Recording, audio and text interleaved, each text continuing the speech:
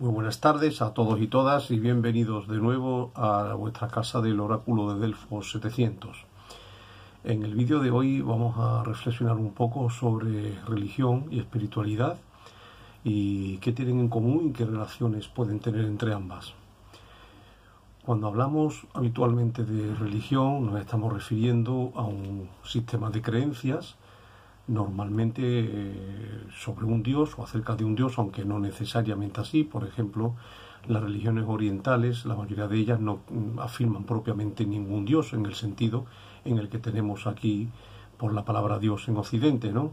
El taoísmo, el hinduismo, el budismo no hablan propiamente de un dios, aunque tienen en común con las religiones del libro, con el judaísmo, el cristianismo y el islam, pues la afirmación de algún tipo de trascendencia, entendiendo por ello pues eh, la realidad metafísica o aquello que va más allá de lo que podemos observar inmanentemente aquí ahora ante nuestros sentidos, ¿no? Así de esa manera, pues eh, las religiones tienen en común que no se ciñen o no se reducen a lo que podemos observar con los sentidos de lo que llamamos el mundo material, más allá de que consideremos que es la materia o no, ¿no? o el mundo físico, sino que habría eh, la creencia o la afirmación de que lo que está ante los ojos, denominado mundo físico o mundo material, pues tiene una fuente original que va más allá de nuestra percepción sensible o de nuestra experiencia humana y que hunde sus raíces en ese más allá, eso que estando en todo no es nada de ello, lo que llamamos trascender o trascendencia.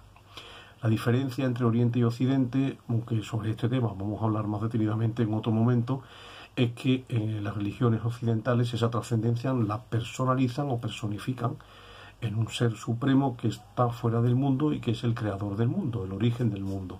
Mientras que las religiones orientales eh, no afirmarían ese ser supremo distinto del mundo, sino que sería una especie como de eh, carácter profundo divino o trascendente de la realidad, ¿no? algo así como la relación entre el fondo y la forma.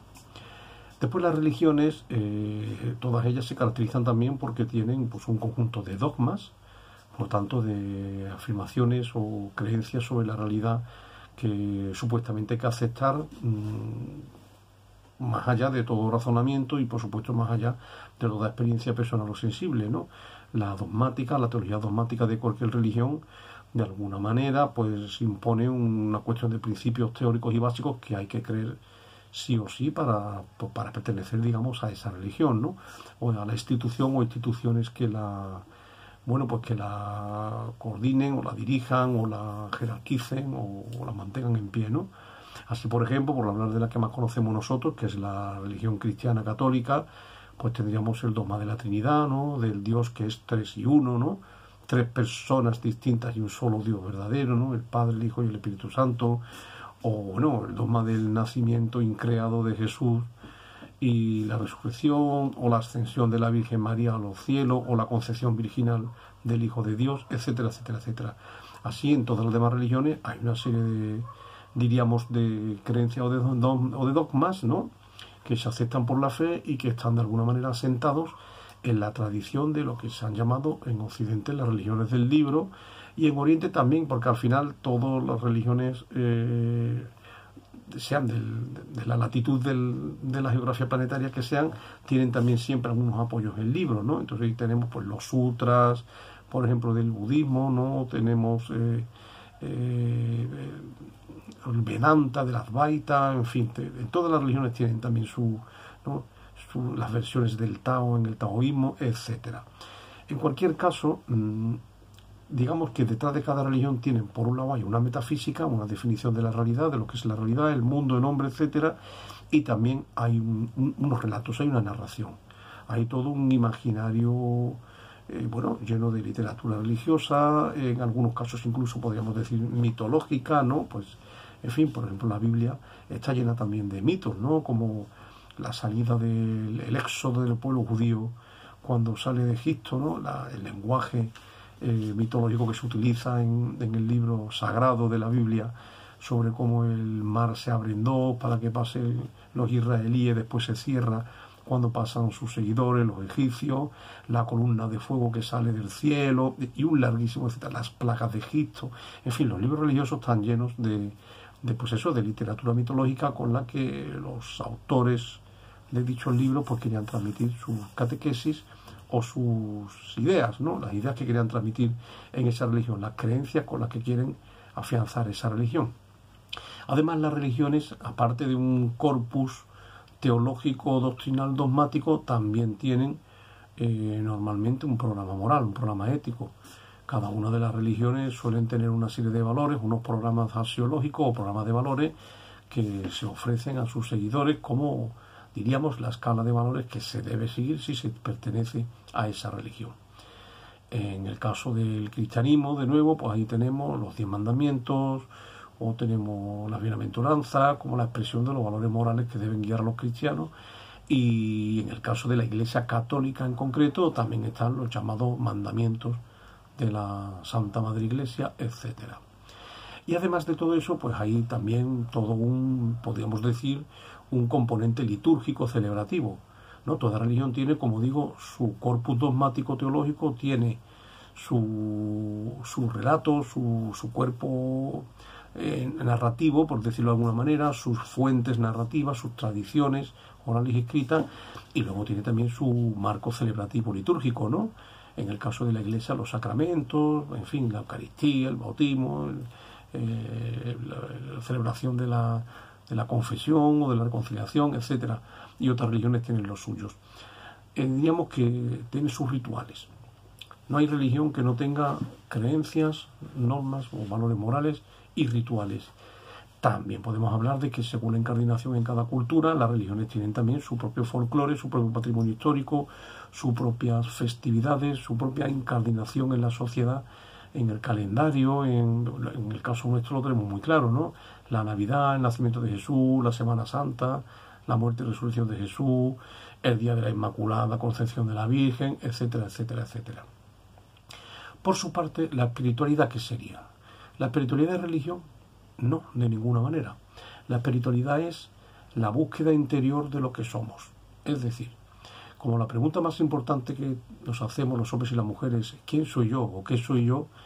Eh, cuando eso lo respondemos desde el punto de vista fenoménico, desde el punto de vista, digamos, de la exterioridad, de, de lo que aparece ante los sentidos, pues ahí tenemos el estudio de las distintas ciencias, ¿no? ya sean las ciencias naturales o las ciencias humanas, pero en cualquier caso las ciencias empíricas, que son las ciencias, en el caso del ser humano, pues lógicamente la más adecuada es la antropología científica, ¿no? la antropología científico-natural y la antropología sociocultural, que estudian al ser humano primero desde su componente orgánico, ¿no? el origen y evolución biológica del cuerpo humano a lo largo de los siglos, y desde el punto de vista sociocultural, pues estudia la evolución de la humanidad desde sus producciones culturales, la creación de la sociedad, los productos culturales que hacemos, el arte, la literatura, el derecho, las normas, la política, la economía, etcétera, etcétera, etcétera. Todo ello tiene dos rasgos, que son los dos rasgos que, caracterizan al método científico desde Galileo en adelante, la observación fenoménica y la comprobación experimental. ¿no? Primero, aquello de lo que hablamos científicamente, ha de poderse observar por los sentidos, y segundo, cualquier eh, afirmación que pretendamos que sea científica debe ser experimentada y demostrada científicamente por medio de experimentos. Bien, desde el punto de vista de la concepción del hombre en este nivel, pues podemos decir una serie de cosas acerca de lo que somos, pero más bien podríamos decir que decimos cosas acerca de todo aquello que tenemos.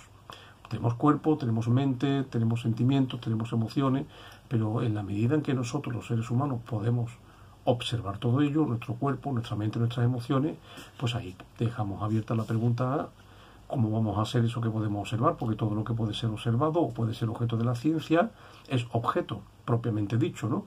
Si puede ser observado, estudiado y explicado, es objeto, porque nosotros mismos lo observamos. Es decir, el sujeto es el que observa y el objeto es lo observado toda visión antropológica del ser humano que nos pueda dar la ciencia o las ciencias empíricas tienen que ver con lo que tenemos, cómo nos manifestamos los humanos, cómo nos manifestamos biológicamente, cómo nos manifestamos psicológicamente. Pero acerca de, ese sujeto que observa el cuerpo y la mente, de esa conciencia última que somos, de ese yo que se da cuenta, de ese testigo eh, bajo cuya conciencia aparece todo lo que ocurre, todo el mundo de nuestras experiencias humanas, eso ya es sujeto, eso no puede ser observado en el momento en que eso se observara, pues se habría convertido a su vez en un objeto, por tanto no podría ser el observador, sería el observado. Espero no estar liando mucho.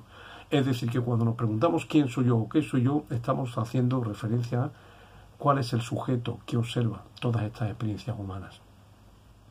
Estrictamente cobramos conciencia de que somos un cúmulo de experiencias físicas y mentales, orgánicas y psicológicas, emocionales, todo ello, pero de todo eso nosotros mismos a su vez podemos tomar conciencia, darnos cuenta.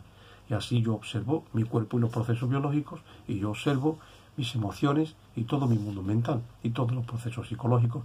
Pero ¿quién es el que observa? Yo, ese sujeto es el que observa, la conciencia el que se da cuenta. Pero la búsqueda de ese quién soy yo, es decir, la interiorización, el ir más allá de la identificación con el cuerpo y con la mente, esa es lo que llamamos espiritualidad. Por tanto, yo defino así, con este término, con el término de espiritualidad, pues la búsqueda interior de lo que soy. También eh, la comprobación o la experiencia, porque esa búsqueda no puede ser tampoco tematizada científicamente, porque entonces sería, como estoy diciendo, una afirmación de la mente, una afirmación más de la mente. Cualquier cosa que podamos decir, definir o observar, mucho más. Eh, demostrar científicamente es una creación mental, una creación de la mente. Pero nosotros, los seres humanos, el sujeto no es una creación de la mente. Entonces, el qué soy yo, el vivir lo que soy, el vivir mi naturaleza profunda, el vivir mi verdadera identidad, el vivir eso que está más allá de todas las experiencias, el instalarme en el experimentador, ese es el camino de la espiritualidad. La búsqueda de ese hogar profundo que está, diríamos, más adentro, más abajo de todas las experiencias físicas y psicológicas. Bien, podríamos decir que es lo que en, muchos caminos espirituales y tradiciones espirituales y en la filosofía perenne se ha llamado el centro, ¿no? y que, por ejemplo, en las tradiciones espirituales orientales sitúan incluso físicamente, yo creo que eso es una forma simbólica de hablar, claro, en el centro del cuerpo, es decir, en lo que se llama el jara o el tándem, que es considerado en Oriente como el centro del equilibrio, unos dos dedos por debajo del ombligo y unos dos dedos hacia adentro del, del estómago. Naturalmente no es un órgano que podamos percibir estrictamente con, los medios técnicos de la ciencia, sino que es una forma de, simbólicamente o metafóricamente, de señalar la fuente o el centro donde surge todo lo que yo experimento, lo que el sujeto experimenta.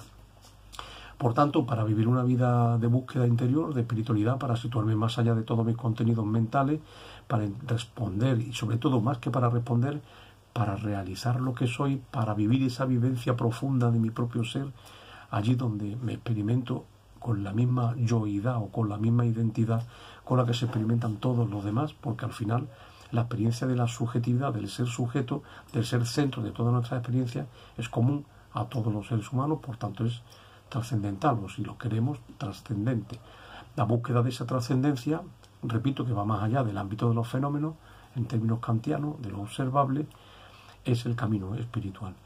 Por supuesto, no tiene, en principio, no tiene por qué tener ninguna relación con la religión, porque una persona puede ser muy espiritual, eh, buscando la vivencia absoluta de la presencia que es, del aquí ahora, de la búsqueda de lo que es, del trascender, como digo, la identificación con la mente y con el cuerpo y ver o intentar instalarse en ese sujeto que observa la mente y el cuerpo sin necesidad de tener que asumir o de tener que afirmar ningún tipo de corpus doctrinal o ningún cuerpo teológico o ningún sistema valorativo, ni mucho menos eh, ritual o litúrgico.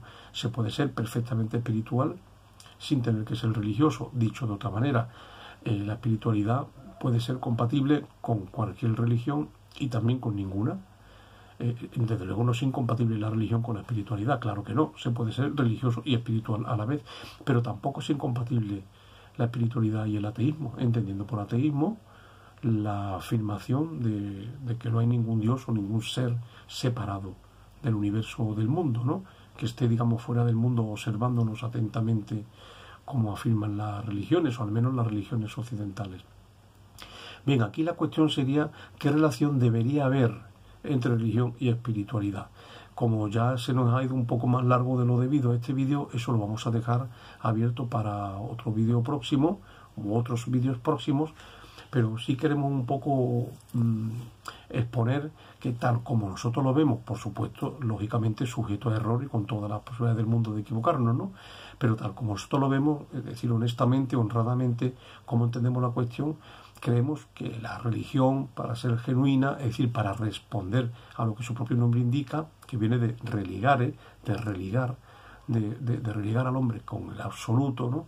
o de, de, religar al sujeto humano, al sujeto empírico, con lo que le trasciende, para que eso fuera real, tendría que estar incardinado, para mí, ¿eh?